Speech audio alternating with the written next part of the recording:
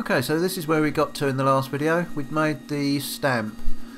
So now we've got to make the Pritchel. So I've got another bit of this breaker steel. Um, it was free, so I'm going to use it.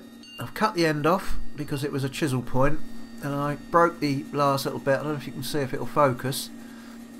It probably won't, but it's it's a very fine grain, so it's it's it's a good good bit of steel.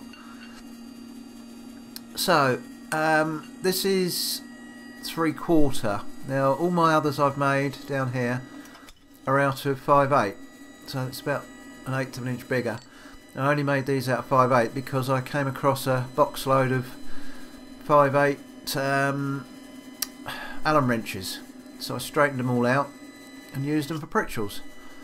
I've got them all different sizes. As you can see, there's three, uh, three there, different sizes, ranging from quite tiny up to relatively big, and now even bigger.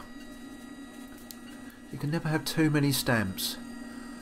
So, let's get it warm. If I can get my fire going, it's really playing up today. It doesn't want to go, so I'm going to give it a, a poke. Get it going. Right, so a quick recap on last time. This is a nail that I've cut off and made the stamp to exactly the same size as the end of the nail. Now the Pritchel wants to be made the same size but then a gnat's bigger because it will punch out what the stamp does and obviously a lot more slender as you can see. So that's what we've got to do next. Get it nice and hot give it some beans. Oh I wish I had a power hammer. One day when I get a bigger shop. So just draw it down. Draw it down square to start with. Obviously it's going to be like the stamp. It's going to be um, slightly wider one way than the other we don't need to worry about that until you get much further down this is pretty tough stuff it's not coming down as quickly as I'd like, but persevere. And it's actually a lot colder than it looks there. Oh, got it a little bit warm. Never mind. Carry on.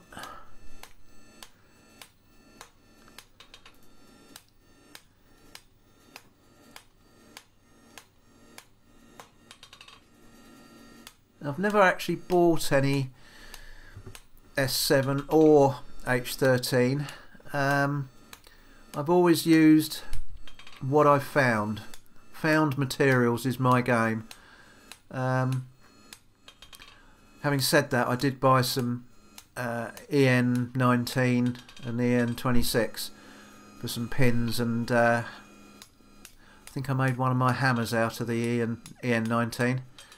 But generally, I use found steel.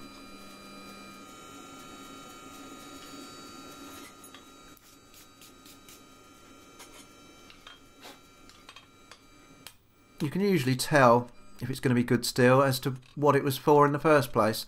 Like these points, breaker points, you know it's going to be pretty good steel because of what they're used for. Um, half shafts from trucks or cars. Again, pretty good stuff. I've made many a tool out of a lump of half shaft. In my youth that was, not these days. So you can find all sorts of useful steel kicking about. You just have to think what it was used for originally. Now we're getting there. I've changed hammers, gone down to my rounding hammer. Have a bit more control. We're getting there. Just want to make it a bit tidier.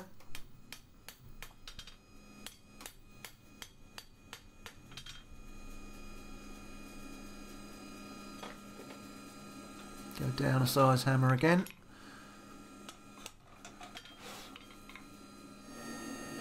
This is my finishing hammer.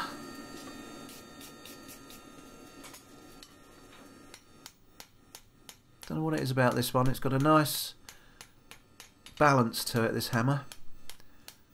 I really like it and I use it for all sorts of things.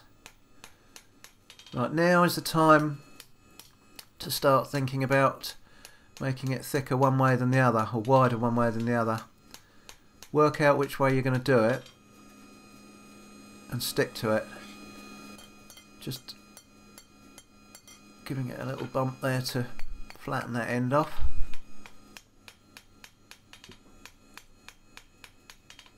That is just about it.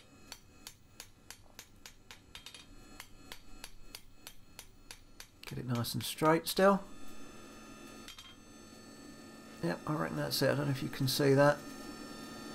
But it's longer that way than the other. See if I can sh actually show you how it compares to the stamp. It's actually quite a bit smaller than the stamp, which is fine because I've got to file it anyway. I'm going to finish it off by hand, just with a file. Bring it back to the size of the stamp. So that's what I'm going to do now. It's still hot, but it's cooling down rapidly, and I don't know if you'll be able to hear it, but it's it's squealing a little bit. Because this stuff is air hardening as I described in the last video.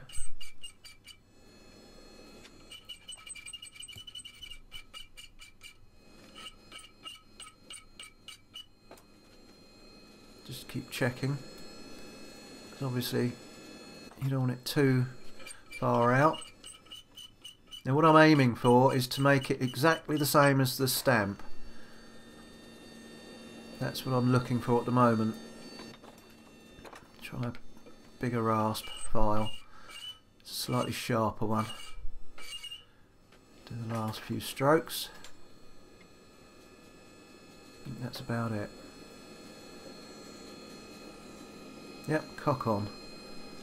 Right, so you will remember I always said that the end of this wants to be a gnat's larger than that, the stamp. So we're going to do that now. So just going to get it warm just the very end.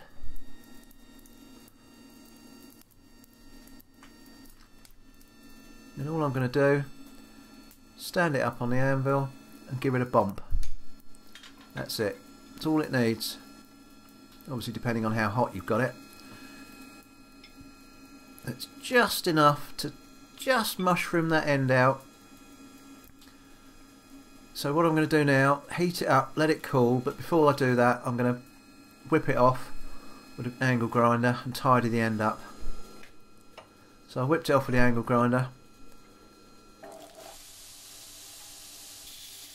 Just tidy it up. Put a nice little chamfer on there. So when you hit it you're not going to get any bits coming off the edge.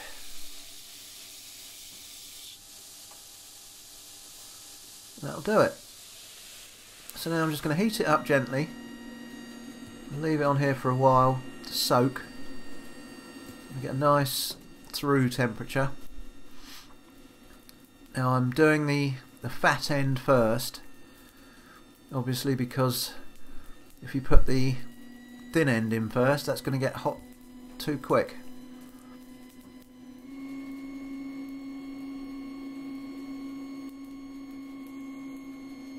Have a quick look. Yeah, don't look too bad, it's getting there. So I'm doing it slowly.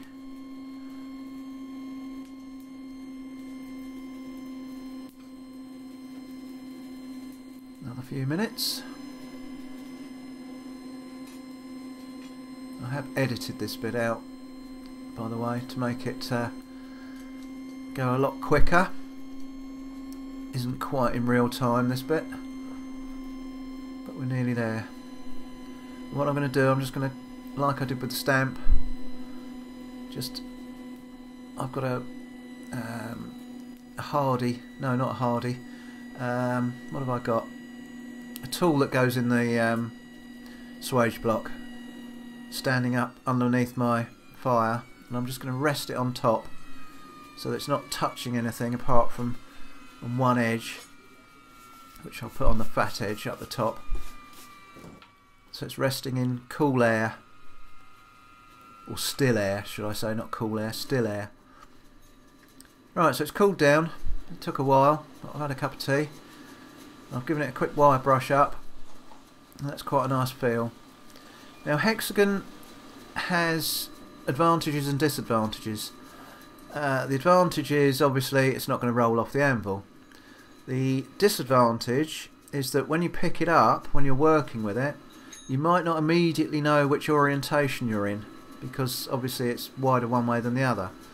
I I know because I've used hexagon tools for years like this so I you know it's second nature to me but if you're starting out what you might want to do is flatten it so that it's more oval so that you've got a, a wider side so this side I would flatten so that when you pick it up you immediately know you're in the right orientation for punching your holes you don't want to be mucking, mucking about trying to figure out which way around to do it. And obviously if you're using round, you have to because it'll just roll off the off the anvil. So I'm going to try it out. Got a couple of bits of uh, 3 quarter 3 8, 12 and 3 quarter inches long. I've got a couple of shoes I need to make. Uh, so I'm going to try it out. Obviously, when you first try out your, your stamps and your pritchels, you want to use an old shoe. Pick, pick out a couple of good old shoes get them hot and play about with it because you know full well it ain't going to work first time out. So I'm banking on it not working first time but I'm hoping it won't be that far out that I can just give it a quick tweak and we can crack on.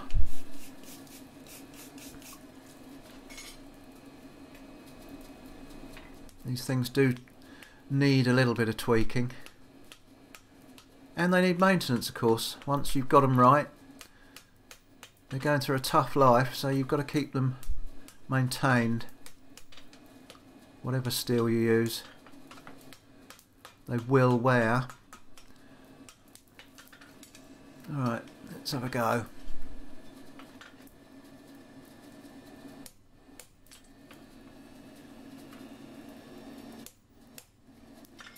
Feels quite nice. Now I can feel immediately that didn't go through. There's something not right there. Same with that one, didn't go through. Oh, burning my steel. Burning, burning, burning. The other shoe.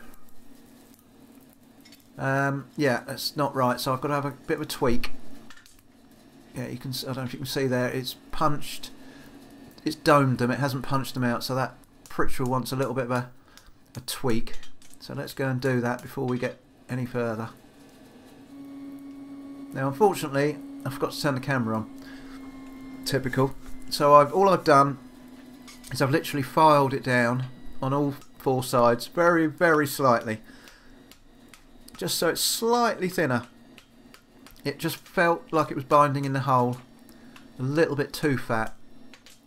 And then just dome the end again so that you've got basically a bit of clearance around, but the, the doming on the end, or the mushrooming on the end, will act like a shear, but you've got a little bit of clearance behind it. Let's try this time.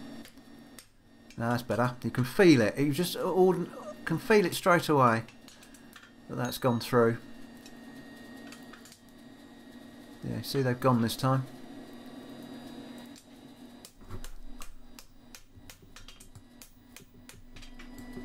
So let's have a little look before I go any further. I've really mullered that other shoe. Let's have a quick look down here, see if we can find those bits. Yeah, there's one. There's the other one. Oh, that one's hot. That one, oh yeah, that one's still hot. But there you go. That's what you're looking for. And if you turning it right, you'll end up with... Oh, lost one. You'll end up with these stuck to the bottom of your boots. Let's have a look, if you can see that. Nice little rectangle punched out. And so you get them stuck to your boots when you've got it right. So let's crack on, just finish these shoes off and then we'll have a look at the results.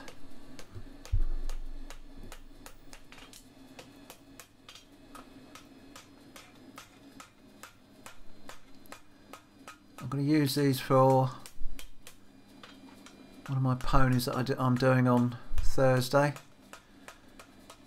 Normally just stick a pair of handmade, a uh, pair of machine mades on him, but I thought this would be a nice little treat for him.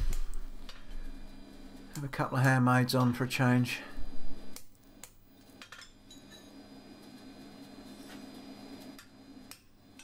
If you watch carefully at times you will just see there we go, there's one. Just gone dropped out.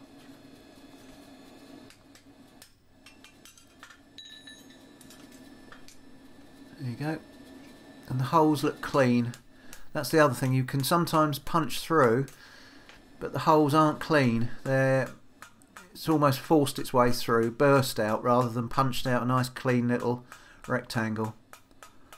That generally happens when your Pritchel's too small, and it literally just forces its way through. You get ragged edges, and it's all nasty, and you have to really severely back Pritchel to get a decent hole. And there, I don't know if you can see that. Nice square or rectangular holes.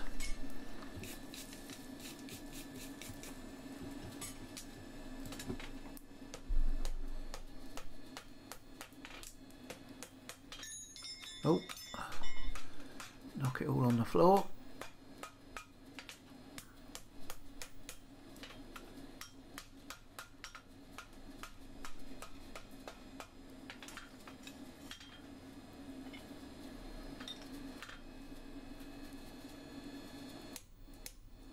Made shoes for years. Well, not years, but for a long while. I don't make them regularly these days. I did a video a couple of weeks ago doing a pair because I hadn't done anything for a long, long while and I needed a pair for... Um, oh, that one didn't come out, but came off quickly. Needed a pair of quarter clip fronts for a little thoroughbredy ex-race horsey thing. I've been putting machine mades on and I just needed, it doesn't grow any foot so I needed some holes in some different places. So again I thought I'd treat him with a pair of handmaids. However good the machine mades are these days, it's still lovely to put on a pair of handmaids.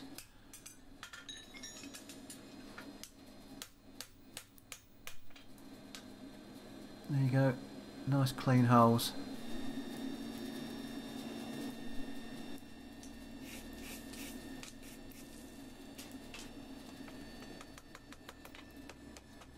Speed this up a bit. Don't want to bore you to death.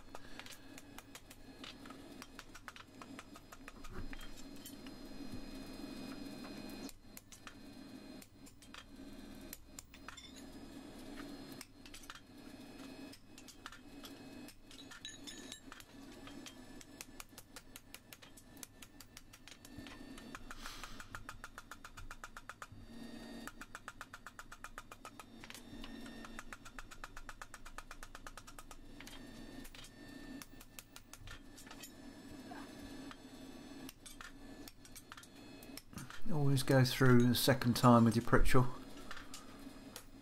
Just uh, puts the holes back into the proper shape. There you go. Not bad at all.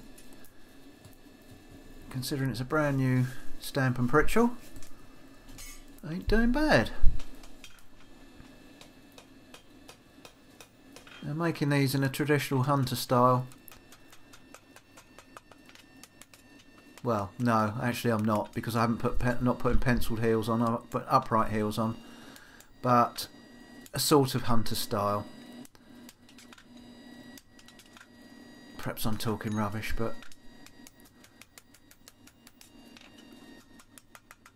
there you go. Never mind. It's been a long day. Don't know if people still use penciled heels these days. Everything seems to be upright heels now. There you go. Right, I'm just going to quickly clip these up. People seem to like this bit, so I'll show you this bit. Find my mark, which I put in at the beginning.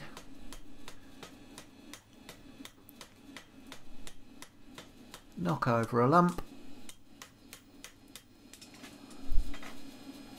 Draw her out.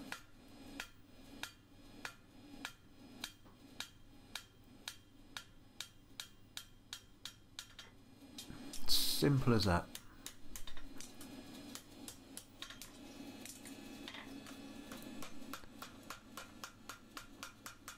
Blend it back in. Bob's your uncle.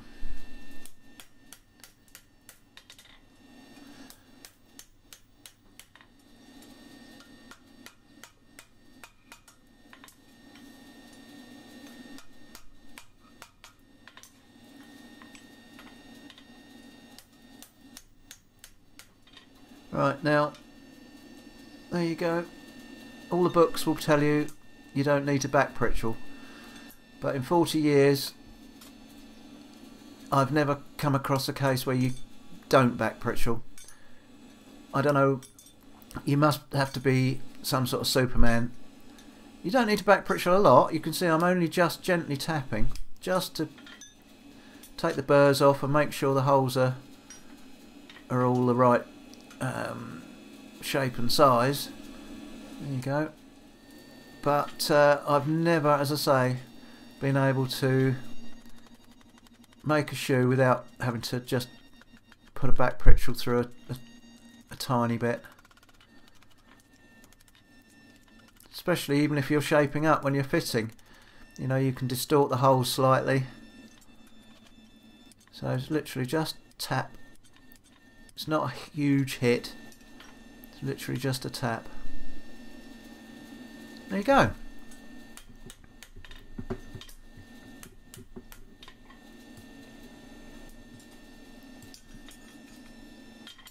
Right, so let's uh, have a little look at the tools, see how they've held up.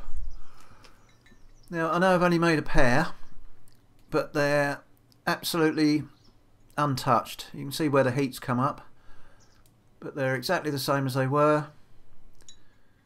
Obviously they're going to need maintenance over the years and months and all the rest of it, but they hold up. You could do, probably do a whole day shoemaking without having to touch them up at all. To be honest, they're a little bit on the heavy side for uh, 3 quarter 3 8. They would have been better off if I'd made those out of, um, say, 7 8 3 8 or 7 8 7 16th but it's nice now. I've got a heavy set of um, Stamp and Pritchel for any heavy jobs I need to do. But uh, I needed something out of 3 quarter 3 8 and as you can see I've got loads of different sizes down there so they'll join the the sets. Alright, let's have a quick look at the shoes see how the holes have actually come out. I just cooled these off and given them a quick wire brush. I've got a nail here, this is a 5, which is what I made the Pritchel and stamp for. Now they should drop in and stay there if you turn it upside down. And there you go.